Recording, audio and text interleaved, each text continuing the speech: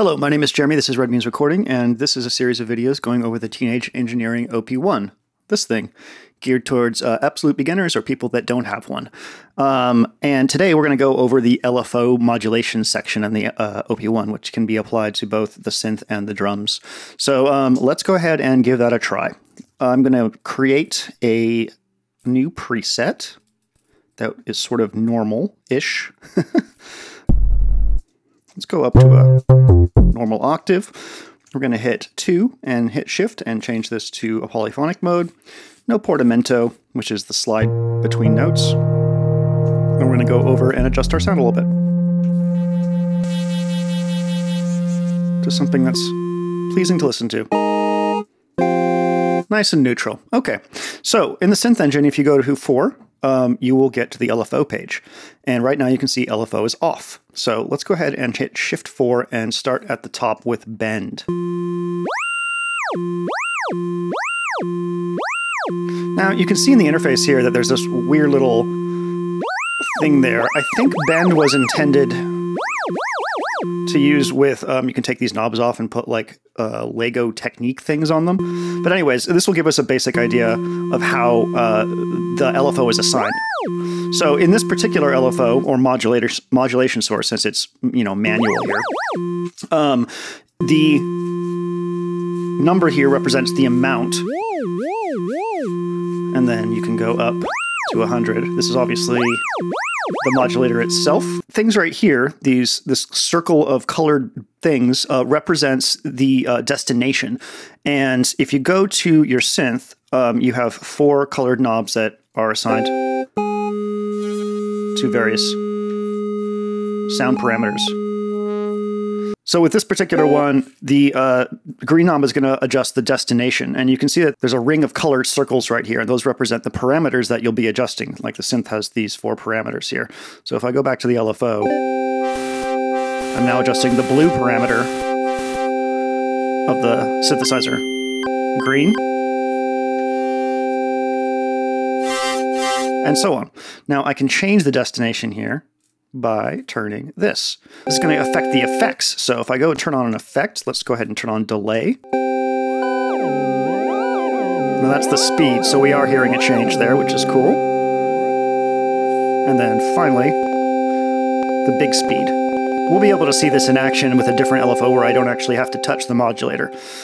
Uh, other sources include, that's it for right there. We got volume and pitch, effects, envelope, and uh, what do you call it? Uh, the synth thing. So let's go ahead and pick a different one, crank.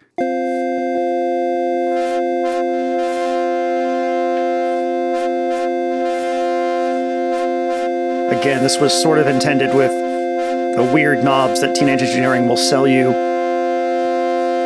Same effect parameters can be selected here. That's kind of cool. And the amount is in green. Let's go to element. Element uh, is like value, which uh, I use most, um, but element's going to have some interesting things that you can do. So let's go ahead and turn the amount up. Now, G is a sensor, a gyroscopic sensor built into the OP1. Turn this up even more. Let's go ahead and turn this over to red.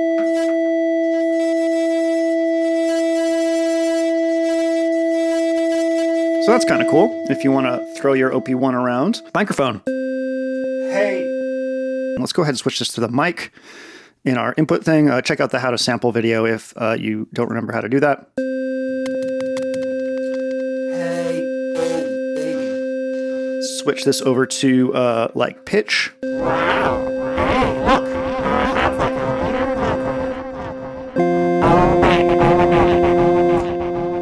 Kind of cool. You can uh, modulate the uh, synth or drum from an external source, which is pretty nifty. Uh, envelope. So if we go over to our envelope and adjust this.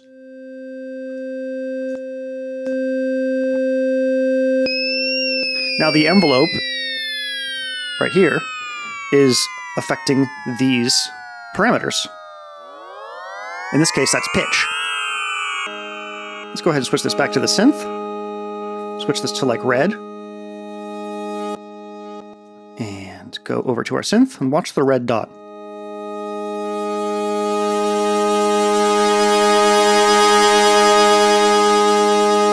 That's because this envelope is shaping how that is now modulated. So I could change this to something like this.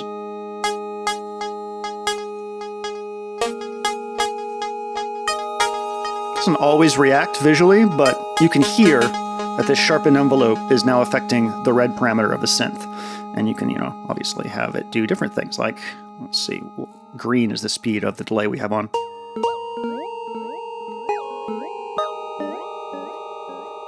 You can see it affecting that there. And if I wanted to change that, I could.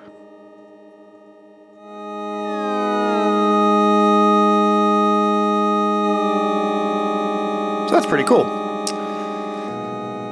I don't know what this is.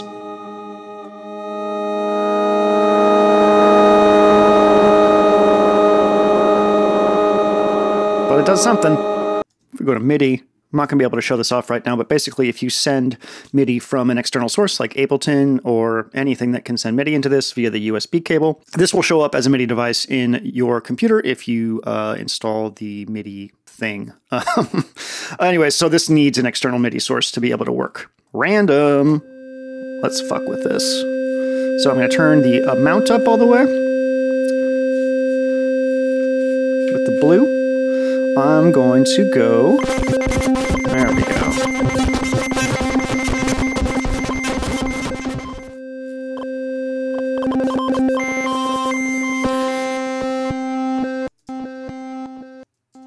So the uh, random thing creates a random signal and applies it to uh, whatever the um, destination's parameters are. And you have a couple controls. You have the amount,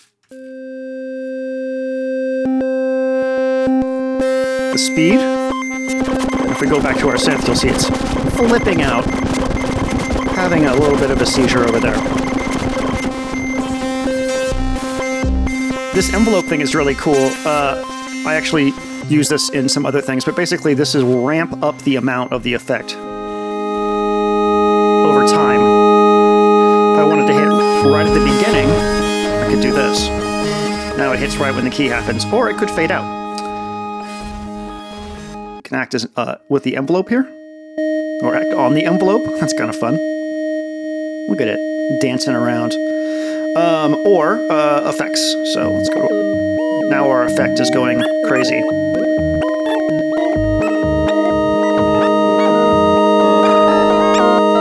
Go ahead and sharpen our envelope a little bit. Tremolo is very useful, which is the next LFO we're going to be messing with. This gives you control over the speed of the effect. You have synced speed to the left and non-sync speed to the right. And then this is sort of about vibrato right here, and this is a tremolo. So let's go ahead and hear what that sounds like.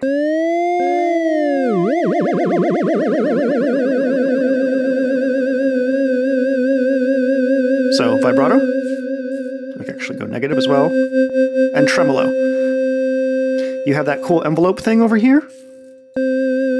So it'll fade in. Which is very useful for solos, as you can hear right now. Let's go ahead and switch this over to a monophonic mode. And so basically it becomes like a, a solo instrument. You can hear that LFO kicking in. So I might want this to be kicking a little faster.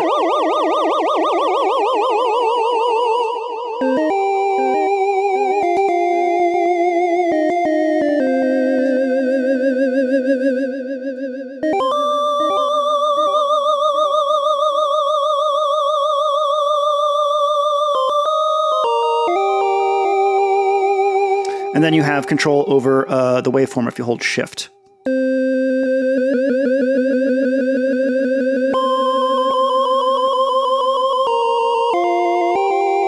It also works to give a little bit of interest to things like um, keyboard sounds. You know, you get a little bit of tremolo going on. Now you can hear that I'm able to See how it's like not synced? It's not, it depends on when you press the key. So even though you have a beat synced,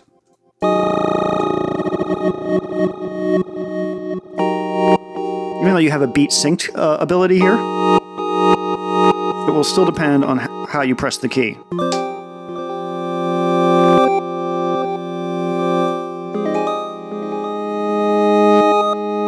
Can hear that it's all depending on how I press that key. Which actually is pretty cool. I wish there was an option to sync it though, because this is a way that you can get like a fake sidechain sound, which is pretty useful. But it's pretty.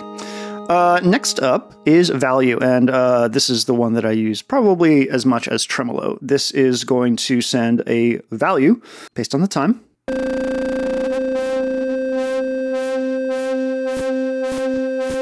Over to a destination.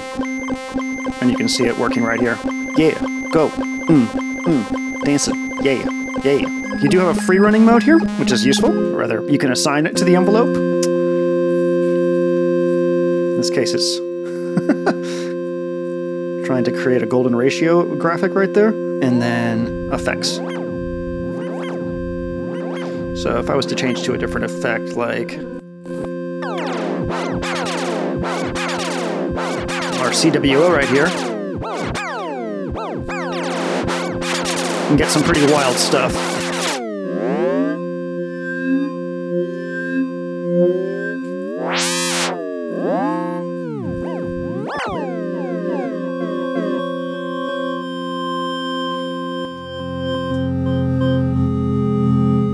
So yeah, LFOs are super, super, super useful. Um, some of them more so than others, honestly. But that is the modulation section of the OP1. On the drums, you have access to it too. This is the D-Box engine, so it's actually a synth engine, which is going to give us some interesting stuff going on. So let me go with the random element right here.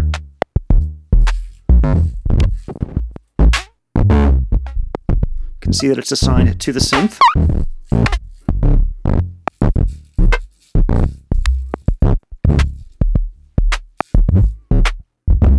Go back here, we're going to see values jumping around, which is really cool.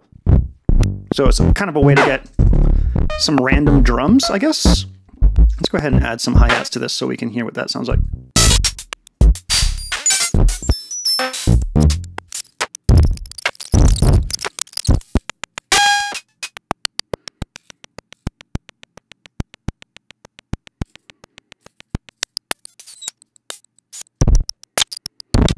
And then you can assign this to other things too. So if I go to the effects, you can see that it will go crazy on the effects.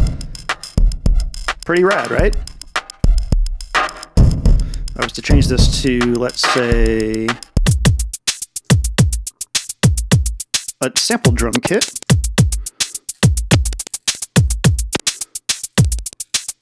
I could get some interesting things.